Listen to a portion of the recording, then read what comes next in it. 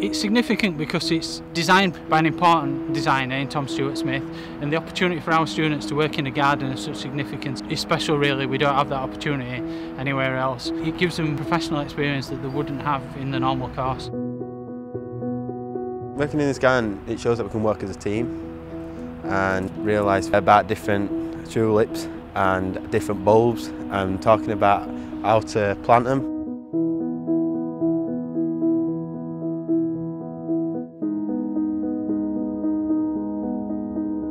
It's very lively to work in the garden. I'm learning a lot to be fair. I've never really used them tools before. I would love to work at something like this, yeah. Yeah.